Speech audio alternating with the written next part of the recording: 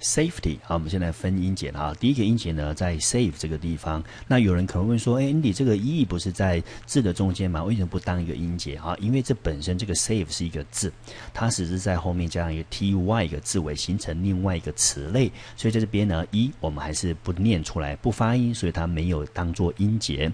好，所以呢，这个字呢，我们就念成 safety 啊，重音节呢落在第一个音节，念成 safety。好，safety 呢，它是一个名词，中文。翻成安全，那我们看它的英文解释，什么叫做 safety 呢？是 a state，注意哦，这个 state 可不是州啊，不是那个美国的那个呃什么什么州的州啊，这边的 state 呢指的是一个状态哈，这个 state 可以当做状态的意思。好，所以呢，它是一个状态，一个什么样的状态呢？在这个状态里头，那这个 which 在这边呢，我们指的就是前面的 state，在这个状态里头呢，someone 某个人 or something 某一件事情 is safe from danger。来，各位这。边有个片语呢，Andy 一定要提醒同学一定要记起来，叫 be safe from。好，这个片语呢，我们也经常常用到 be。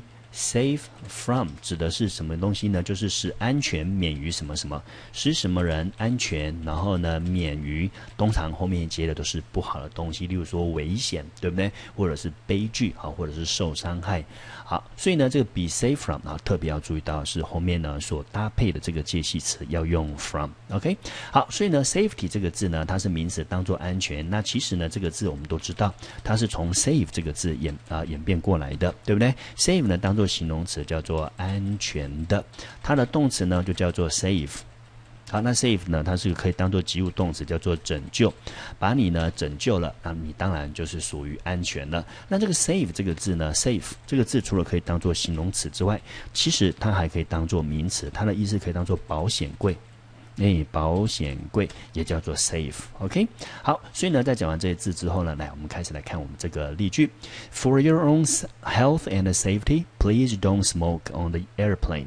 好，为了 for 这边我们翻成为了，为了你自身的健康 and safety 安全，please don't smoke on the airplane。请你不要在那个飞机上面呢抽烟，Don't smoke on the plane。OK，好，所以呢这个字我们就念成 safety，名词安全。